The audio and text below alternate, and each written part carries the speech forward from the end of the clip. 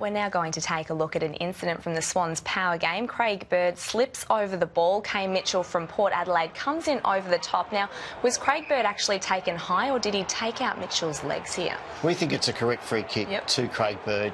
Um, he has no intention to go to ground and take out the knees of uh, of Mitchell, and as we can see, Craig actually slips, Yeah.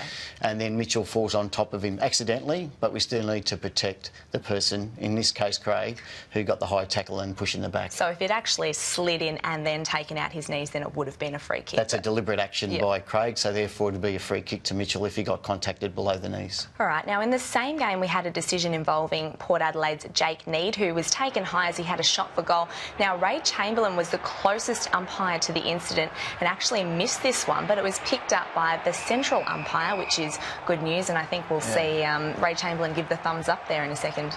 Yeah, I mean, this is terrific umpiring by um, Brett Rosebury in, in the mid zone here. What happens is that there's a, a clear free kick there. Um, Ray doesn't see it the way that the mid zone sees Yep. it. And the mid zone umpire, in this case Brett, says it's a high tackle. And that's what we've been encouraging. We want all free kicks paid. So uh, we don't want that to be missed at all. And it was really well done. Ah, brilliant. And another incident from the Swans power game. Now, this one, Buddy Franklin and Jack Hombsch in a marking contest. Now, to me, it looks like Buddy has clearly pushed him squarely in the back. He runs on, kicks the goal.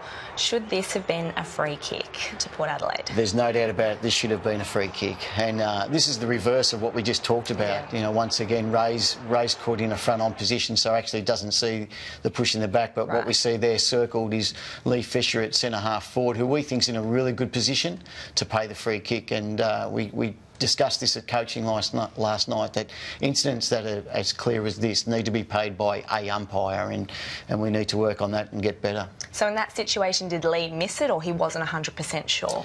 Uh, Lee missed it. He, he saw it, but just didn't have the confidence in able to, to blow the, uh, the decision from his position. Okay.